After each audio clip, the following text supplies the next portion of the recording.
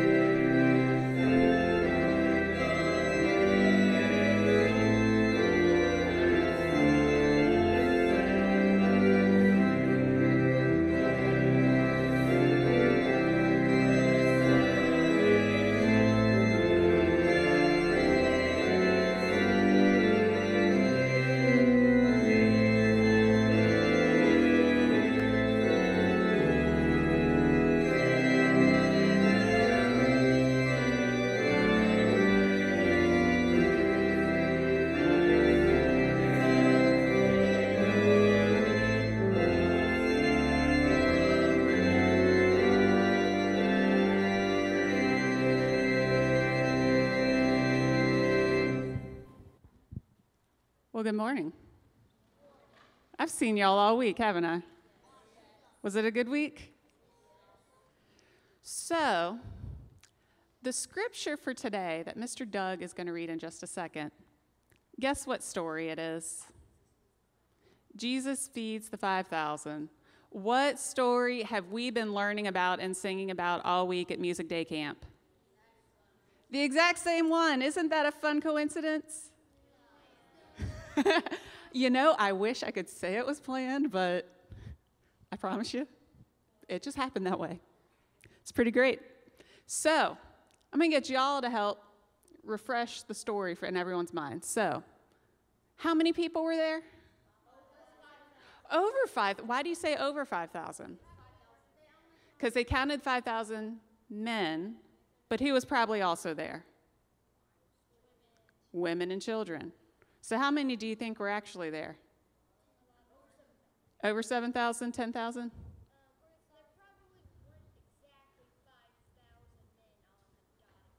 Probably not exactly, but it's a nice round number.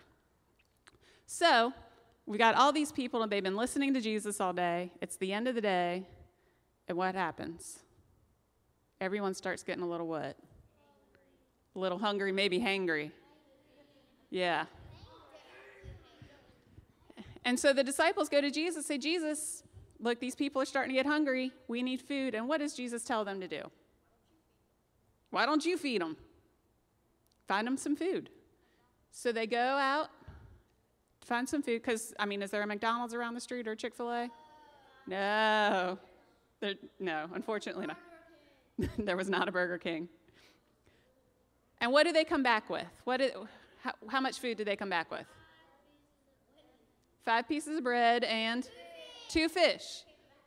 Is that enough to feed 5,000 plus? No. Is that enough to feed you by yourself? Yeah. yeah. That is enough to feed you? Would it feed 5,000 plus? Would it feed the number of people we have in here? No. Yeah, it's, it's not even a thousand in here, so it definitely would not feed over 5,000. So, but what does Jesus do with it?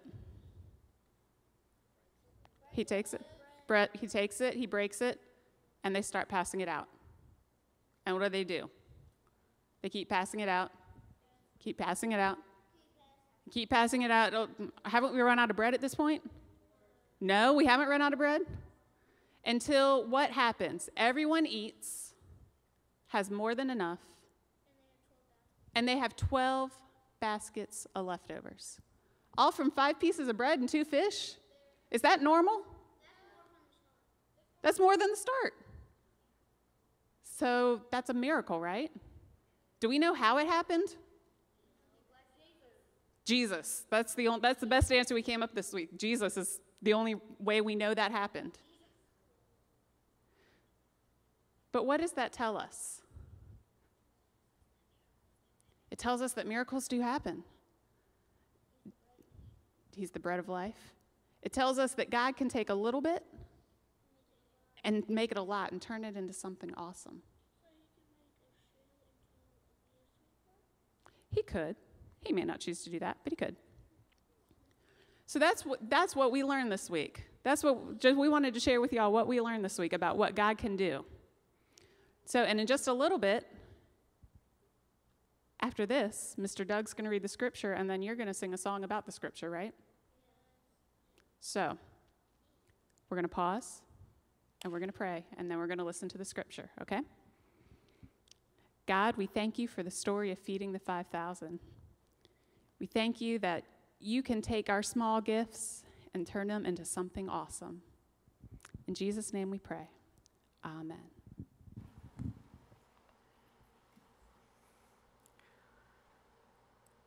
When Jesus heard what had happened, he withdrew by boat privately to a solitary place. Hearing of this, the crowds followed him on foot from the towns. When Jesus landed and saw a large crowd, he had compassion on them and healed their sick. As evening approached, the disciples came to him and said, This is a remote place and it's already getting late. Send the crowds away so they can go to the villages and buy themselves some food. Jesus replied, They do not need to go away. You give them something to eat. We have here only five loaves of bread and two fish, they answered. Bring them here to me, he said. And he directed the people to sit down on the grass. Taking the five loaves and two fish and looking up to heaven, he gave thanks and broke the loaves. Then he gave them to the disciples, and the disciples gave them to the people. They all ate and were satisfied, and the disciples picked up twelve basketfuls of broken pieces that were left over. The number of those who ate was about 5,000 men, besides women and children. These are the words of God for the people of God.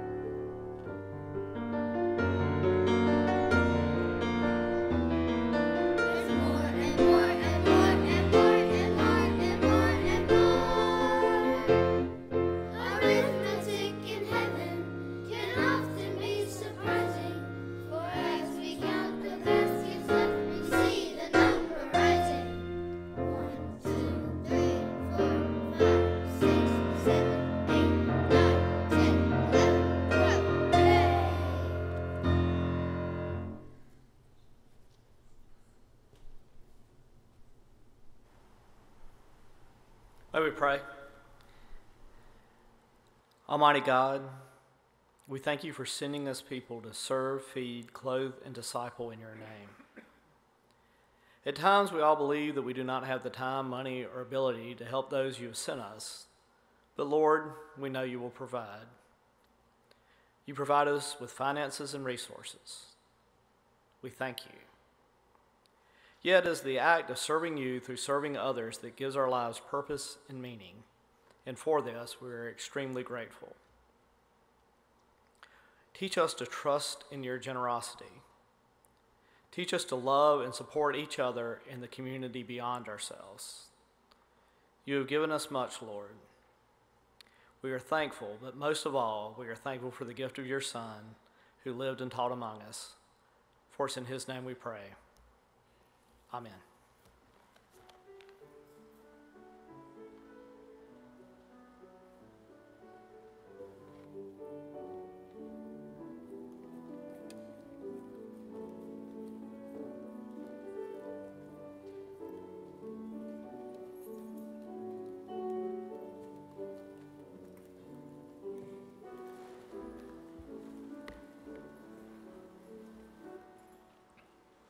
Thank you, children, for your wonderful leadership in worship. Thank you, parents, for making it possible for the children to be here this week and to learn about God and to learn about ways in which they can lead in worship and lead in music. Now let's all stand together as we sing our offertory hymn number 476, I Need Thee Every Hour, hymn number 476.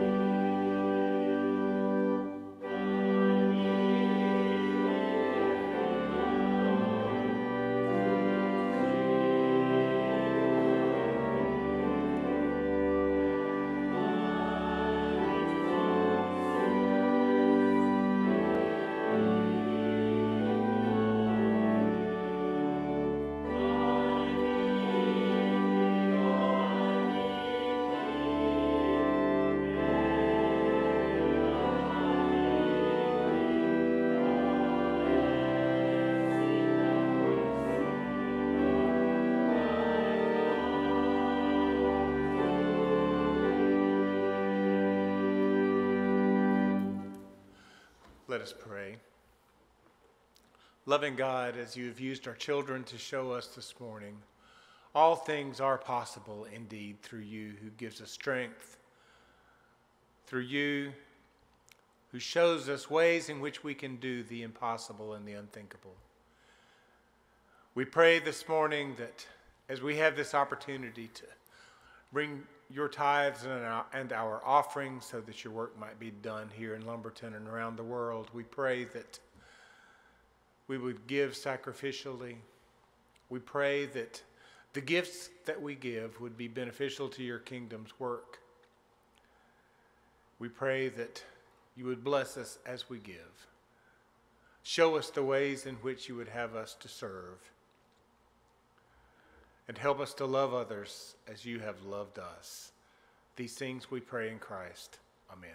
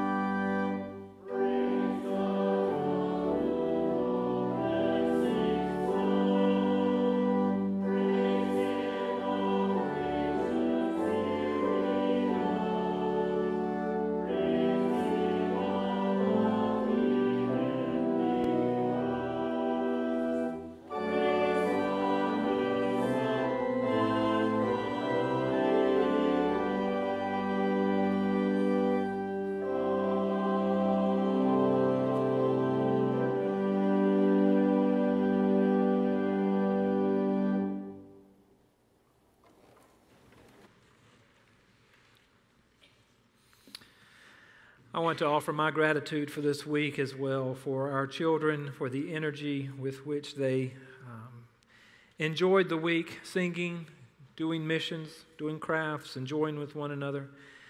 And also, and perhaps most especially, our leadership for Aaron and for all the volunteers who invest so much in Music Day Camp. It is truly one of the most important weeks of the year here at First Baptist. And I thank you so very much. Would you pray with me?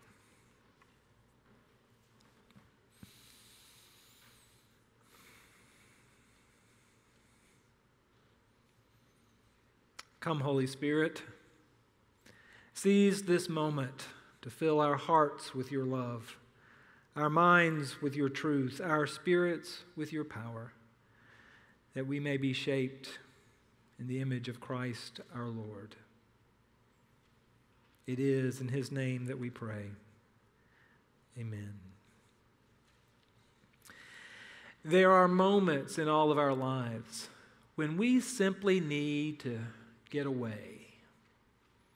There are moments for all of us when we just need to put some distance between ourselves and our normal activities to renew, to refresh, to simply change the scenery just a bit. It, it, it's true for all of us. It doesn't matter who you are, there are moments in your life when you need to get away.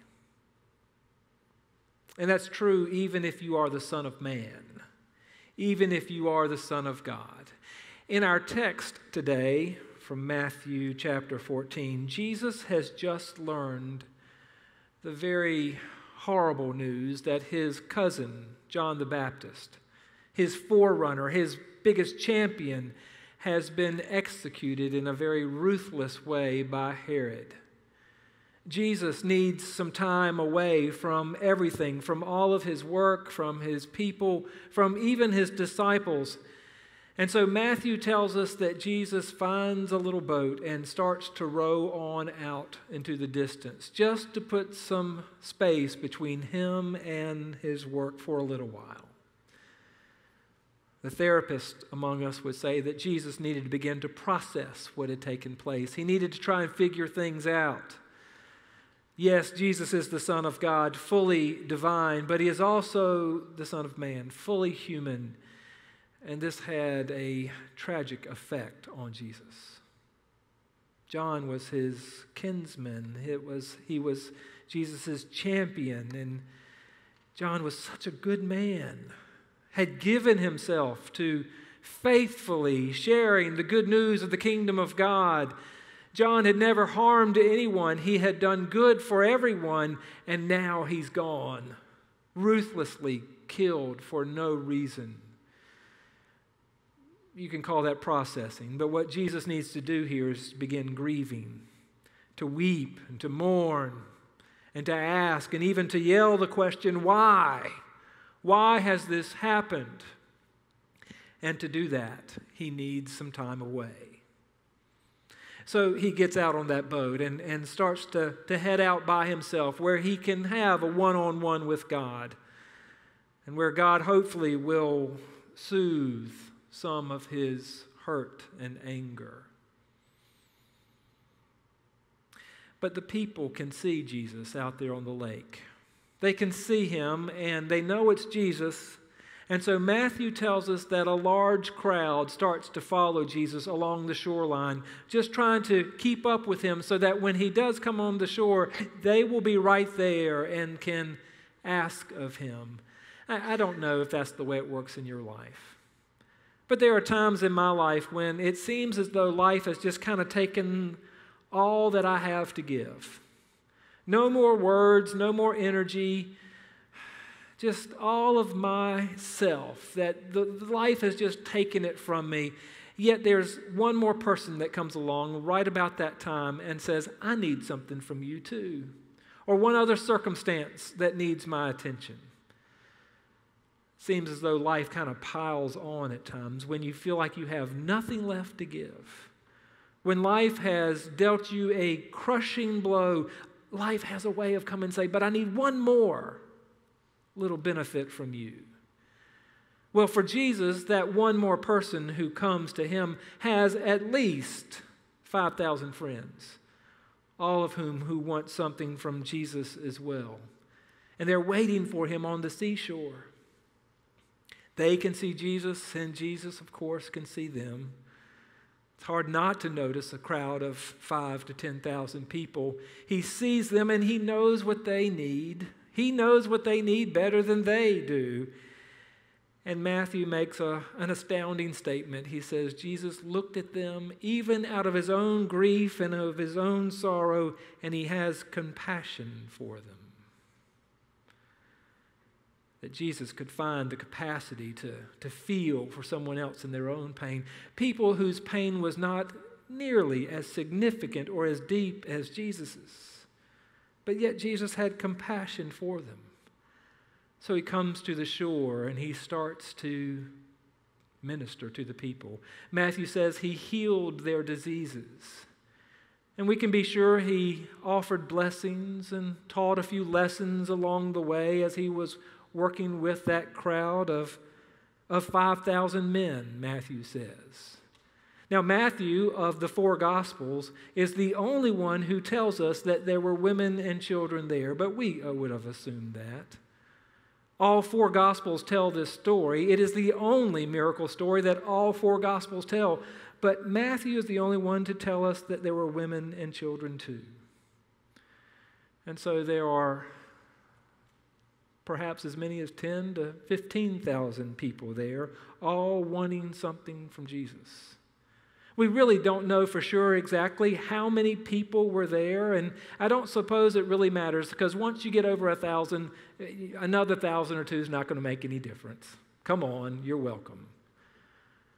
But what matters in this story, to the disciples at least, is that the, the hour is getting kind of late. Jesus, um, you, have been out this for a while and you've been talking amongst those folks and ministering to them and you know, the disciples have caught up with Jesus as well, and, and they're looking at their watches and, and they're thinking, Jesus, we probably need to move this thing along. You've been at this a while, you've got to be tired. We know you wanted to get away from everything, but it, the hour is late, the, the sun is about to set, and these folks, they're going to be getting hungry. I'm surprised no one has said anything about it yet. But Jesus, it might be a good idea if you wrap things up. You can get up as early as you want to tomorrow morning and you can get right back at it and you can teach and heal and bless as many people as your heart's desire. But let's, let's be mindful of the clock, Jesus. And let's wrap things up. They're going to be getting hungry, you know. Matthew doesn't say if the disciples were thinking back to their ancestor Moses, but they could have. You, remember Moses once led a, a, a large group of people, a whole nation, out of Egyptian slavery. Moses led the Israelites out into a wilderness, a desolate place much like this. And there came a, a moment very quickly when that crowd got hungry and they all started looking at Moses and saying, What are you going to give us to eat? Why is it, Moses, that you have brought us out here to starve us to death instead of allowing us to die as slaves in Egypt. They turn on Moses in an instant, it seems. And maybe the disciples are thinking that that could happen to us, Jesus, and we don't want that to happen. And, and really, the answer is so easy just send them home, send them back to their own villages, and there they can get their own food. Logistically speaking, that wasn't a bad idea. The disciples, I think, are, are fairly well intentioned, but they are incredibly short sighted and show a, a real lack of understanding as to who this crowd of people is. For you could send these folks back to the villages. You could send them back hoping that they could find a market somewhere of some type to, to be able to buy some food. But chances are very good that in a crowd of five to 10 or maybe even more thousand than that, you've got some people out there who don't have a home to go to. You've got people in that crowd who, who don't have a roof over their head or any place to stay tonight. And for those who do have a roof over their head, there's a good many of those folks who have no food in their cabinets. So you're sending them back to their homes that are barren and empty, they have come to you for sustenance, for nourishment. And even if there are some who have homes, if there is a market somewhere that they're going to be able to buy food, well, chances are they, they don't have enough money to buy enough food for them and their friends and the others. You see, food insecurity. That's a term that we are using these days to talk about folks who don't have enough food. And not just in third world nations, there are food insecure individuals right here in Robeson County, in our own community. People who do not have not only enough food, but good, nourishing food. It is a, a new term, but it is an ancient problem. Food insecurity was rampant in the first century Roman Empire as well. And you can see that evidenced in the amount of disease that is taking place. So many times we hear of Jesus healing someone who is crippled or giving sight to someone who is blind. But on other occasions, such as today, you hear Jesus walking among the people, healing their diseases. Diseases which were likely prompted by malnutrition or food insecurity.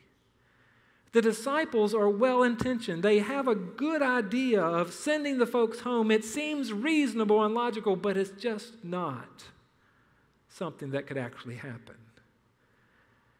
And I wonder what Jesus was thinking as he listened to their idea. Was he feeling their frustration? Was he feeling some sympathy for them? Was he proud that they were trying to do something good? I, am not sure what was stirring within Jesus' heart, but I know what Jesus said. He hears their suggestion of sending the folks away, and Jesus looks at them and says, They need not go away. You give them something to eat. You need to understand what's going on here, my friends. We don't have us a problem here. This isn't a challenge here. What we have is an opportunity here. Those folks don't need to go anywhere. You give them something to eat.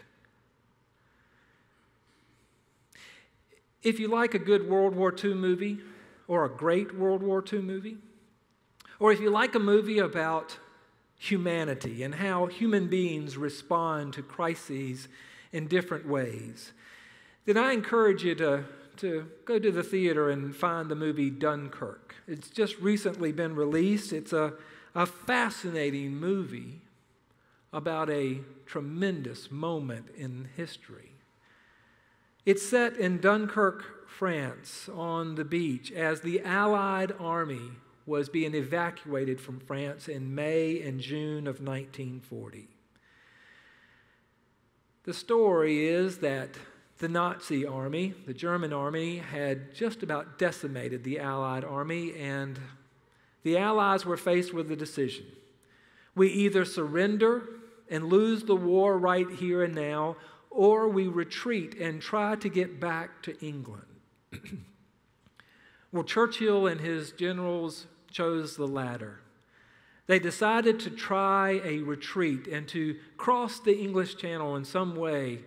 And so they enlisted every ship, every person that they could possibly find to create this armada that would rescue the army.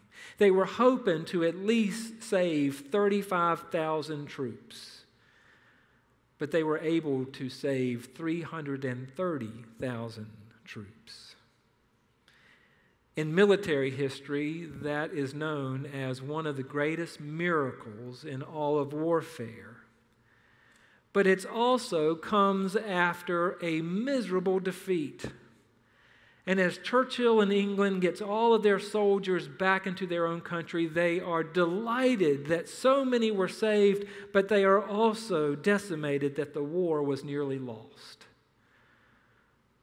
Being the great leader that he was, Churchill gave a very rousing speech where he promised that England would contend, continue to fight. And in perhaps the most well known statement of his speech, he said, Wars are not won by evacuation.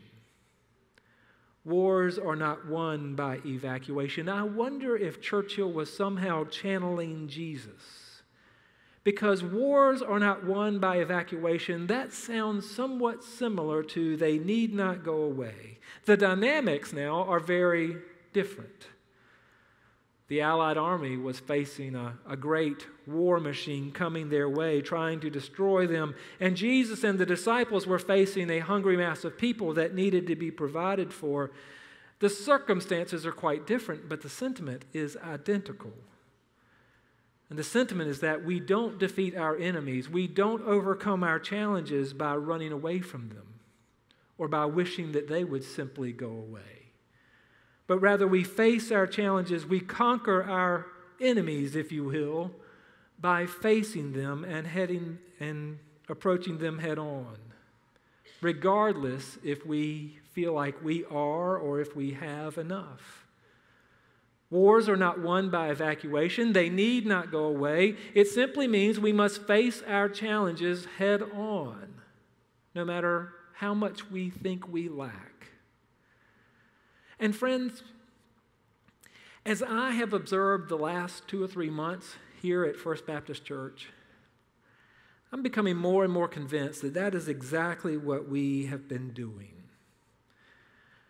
A couple of months ago, myself and some other leaders of our church sat down together and we took a little inventory of where we are, of where we are financially, of where we are in regard to our ministry. And we also looked at our challenges ahead of what we have that we are facing and what we want to accomplish and, and the work that is lying ahead of us.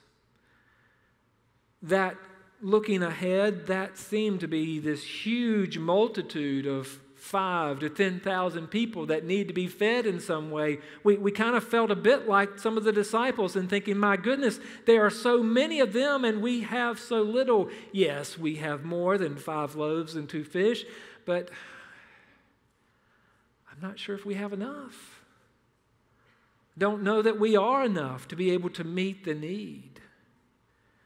And as we talked about the challenge ahead of us and where we are as individuals and where we are as a church, I'll have to admit there's a part of me that thought, well, maybe we need to evacuate some things, evacuate some ministries, or perhaps even evacuate some people in some ways. Or maybe we could just pray that they would just all go away the way the disciples pray that the folks would go away. We thought about that. And it was tempting to think that the challenge or the way ahead was so much greater than what we have. But in our better moments, we thought, no, we need to pray. We need to remember that God is greater than any challenge that we have, and that God's people, when challenged and when aware, are resourceful and generous.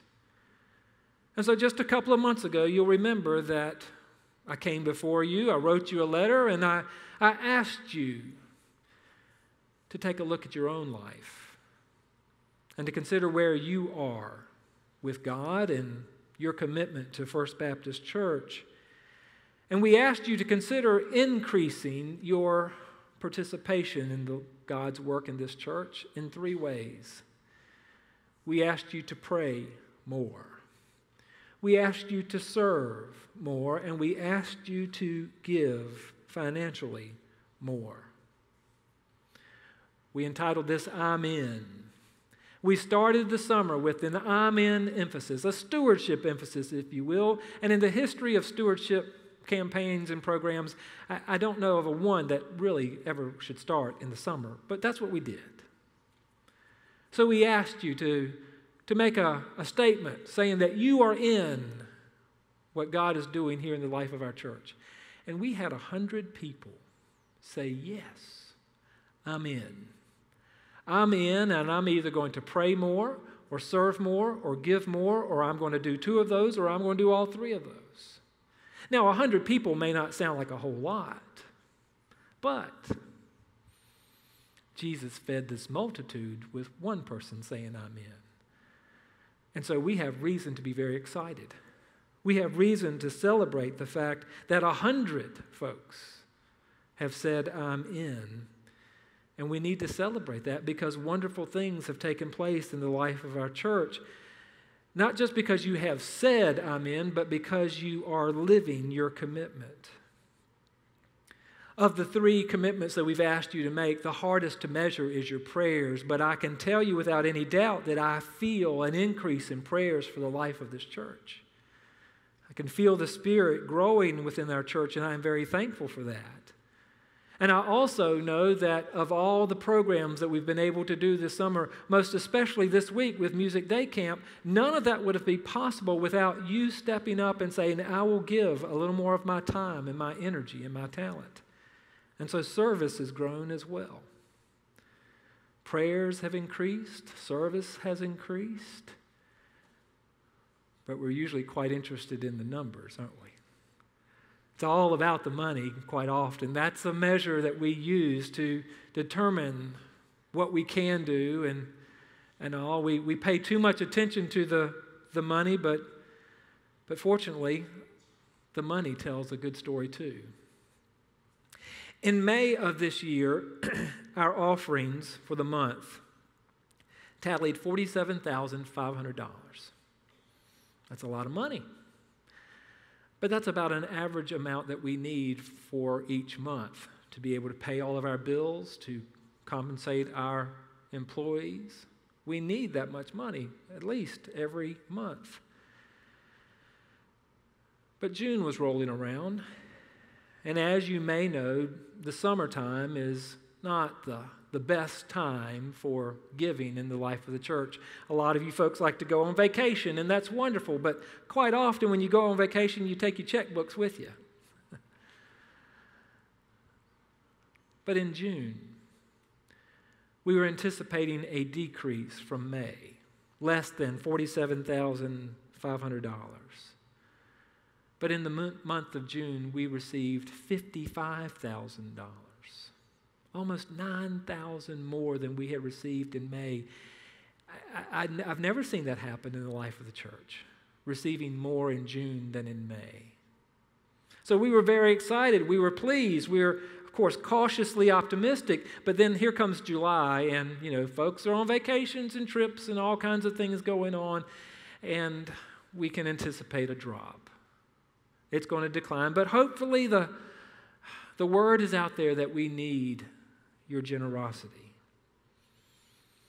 Well, this past Monday, we got the number that we were looking for, the total number for our giving in July of this year. And to say it surprised us is the understatement of the day. It wasn't a decrease, it was an increase. An increase of $20,000 from June. We received in July $75,000 in monthly offerings and tithes. You know, church, if y'all were ever an amen church, that would be a good time to say it. Amen. That is wonderful to see that increase. Now, we have a long way to go. We have a lot of challenges ahead of us there are a lot of mouths that need to be fed, a lot of work that needs to be done in the life of our church. But you have said and you are proving that you are in. And I pray that you will stay in and that you will bring others into the kingdom of God and into the life of our church. But please, please see what is going on here and understand the spiritual lesson of what is taking place. It is directly related to this story that we read today, for in this story, we don't have a miracle, but we have the beginning of a eternity of miracles. The feeding of the 5,000 is not a one and done miracle that Jesus performed to prove his divinity. Rather, it was a way of showing this is how we're going to do things. And this is how it's happening here at our church this summer. For Jesus is saying, This is how the kingdom works and grows. This is how we're going to change the world.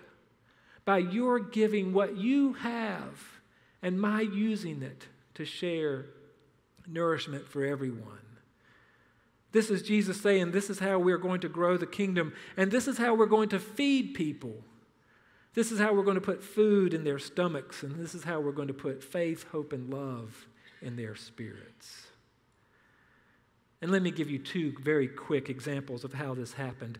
It, it was about three weeks ago on a Thursday that she called me.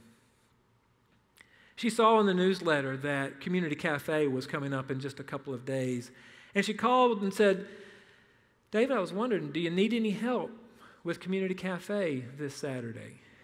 I said, My goodness, I sure do. Uh, we, we, we don't have a, a, a, set plan quite yet. I, I think it's going to involve hot dogs, but I sure could use some help and I would love for you to come. She said, I would love to come and help out. I've done it before and I, I want to come and help. And we talked for a few more minutes. And by the end of the conversation, she had volunteered to cook the entire meal, to do everything. David, if you'll just get a few more people there, I'll bring all the food. And on Saturday morning at 9:30, she showed up with her five loaves. There might have been one more one or two more loaves, I'm not sure. But she had loaves of bread and enough spaghetti and green beans and desserts to feed a multitude. They need not go away, she said. They need to come. And they need to come and eat and to enjoy a feast. And they did. They came and they enjoyed. Two weeks ago, we noticed our enrollment for Music Day Camp was not where we were accustomed to it being. The enrollment for Music Day Camp has always been about 30 children. It's about what we have capacity to, to be able to hold. And this year, just a couple of weeks ago, we noticed we only had about 20 ch- children signed up. And we were a little disappointed about that, but knew we had a couple of weeks to go and realizing that people are on vacations and so on like that. And, but Erin had the idea of advertising on Facebook. She put a little ad out on our Facebook page, and within just hours, a community children's leader called her and said, This music day camp, is that for anyone? And Erin said, Yes. She said, Well, I am a children's leader in a community here in Lumberton, and I have some children who would love to come. How many can I bring? And Erin said, Well, we have openings for about 10. She said, I've got it. I can bring 10 children. Is that okay? And Erin said, Well, yes, of course it's okay. They talked about it a little bit more the schedule, the plans, and so on. And then Erin also mentioned the fact that there is a fee, that we do have to charge a fee for the program expenses and so on, like that. And while I didn't hear the conversation, I, I realized that the lady said, Well, that might be a little bit of a problem because some of these children don't have the means to be able to do that, but I imagine we can work it out. And Erin said, I'm sure we can work it out. Erin asked me about it and said, Is it okay if we do this? I said, Let me think about it. Yes, of course, it's fine. That night we had a deacons meeting and we shared with our deacons the fact that 10 children in our community wanted to come to Music Day Camp but might need some assistance. Before Erin left that meeting tonight, she had money for scholarships promised for all 10 of those children. And they were here. They were here because Erin and the church said they need not stay away because they can't pay a fee. They need to come. They need to come and sing. They need to come and hear about Jesus Christ. They need to come. And they came and they sang and they learned and they laughed and they played. They had the time of their lives, and the kingdom of God grew by leaps and bounds this week. They need not go away, Jesus said. You see, you have something each and every one of you, you have something within your hand and your heart. And if you'll give it to me, Jesus says, everyone will be fed. Amen. Let us pray. Gracious God, we thank you that you are a God who works miracles. You're not a God who worked a miracle. You are a God who works miracles today through us, through your hands and feet, through each and every one of us, giving what you have given to us back to you so that you might use it to nourish our brothers and sisters, our neighbors all around us. Lord, help us to be good stewards of what we have by giving to you in the faith and the confidence and the joy of knowing that you will nourish and fill stomachs and hearts and minds and spirits. We pray this, O Lord, in gratitude for being filled by the grace of Jesus Christ ourselves. It's in His name we pray. Amen. Our hymn of response is number 502 Be Thou My Vision. If you would respond to God's grace this day, then I invite you to come and to share your commitment. Let's stand together and sing.